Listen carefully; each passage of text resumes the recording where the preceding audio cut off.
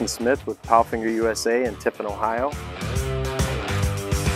I'm going to give you a walkthrough of this uh, PALFINGER PK 65002 Arborist package. Starting with the chassis we have here, this truck is built on a Western Star 49X. We configure these trucks regardless of which truck it is with the Cummins ISX 15, the 15 liter 565 horse engine and also the uh, Allison 4500 transmission. So a fully automatic transmission. These chassis are configured with a 20,000 pound steer axle, 46,000 pound air ride drive axles, and a lift axle in front of the drives, which allows you the federal bridge allowance is higher than what the actual truck weighs. So these trucks are pretty much legal anywhere in the country without permit.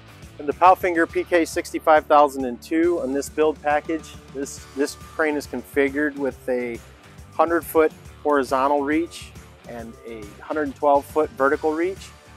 So this package being 29 foot long has significant reach, horizontal and vertical, with the same capacities at those reaches, which is 1,540 pounds at 100 foot horizontal, 1,500 pounds at 112 foot vertical, and 29 feet overall length, 56,500 pounds is the overall weight of this package, which is relatively light for a knuckle boom crane. We always include the cab protector above the cab, which keeps any debris from falling on the cab portion of the, of the chassis. Cab protector mount also serves as a, a guard and protection for the hydraulic oil reservoir so that you're not potentially damaging that reservoir. It is protected also, as well as the oil cooler above the oil tank. Also included on these packages is a toolbox, which has doors on both sides with three shelves that pass completely through so you can store saws and other equipment, whatever you need to put in there, slings, straps, chains, all that. Uh, next we have the grapple where the grapple's mounted. It is movable, removable, or movable, so this can be moved around the bed of the truck. We also have your traffic cones, 28 inch, that come with every truck as well as your outrigger pads.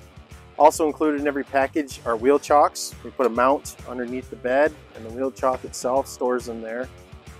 Also included on every truck is a mat storage rack. This mat rack allows you to store, I think it's uh, 20, three quarter inch thick, four by eight AlturnaMATS or plywood, whichever you choose to use.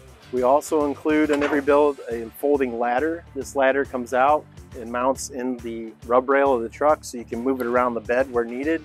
We include a water cooler on each truck and not necessary. If the customer doesn't want it we don't have to put it on but we do include it.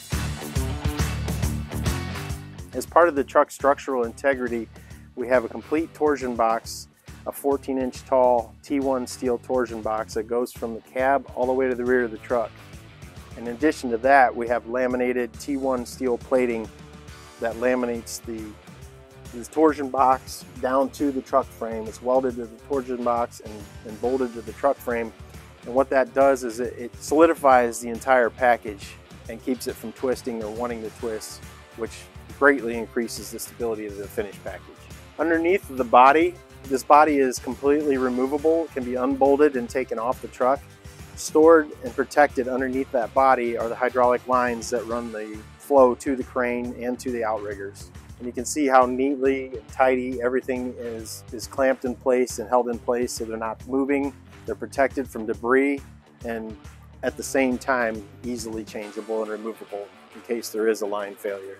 They can be accessed and changed out. On the back of the truck we include aluminum toolboxes Plenty of storage availability in there for tools or whatever you might want to put in there. Also on the back of the truck we include an air chuck, air chuck for um, using the truck's air to blow out your, your saws and your other equipment.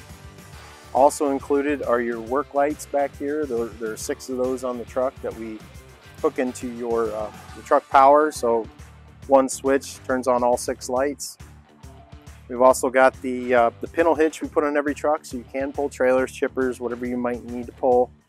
We include the Reese receiver, so you can put a Reese hitch in the back of the truck if you need to, and a place to tie in your safety chains. We also have D-rings on the back of the truck for the larger safety chains on the pintle, pintle trailers and whatever plug you need. And we also include in the back of the truck the backup camera.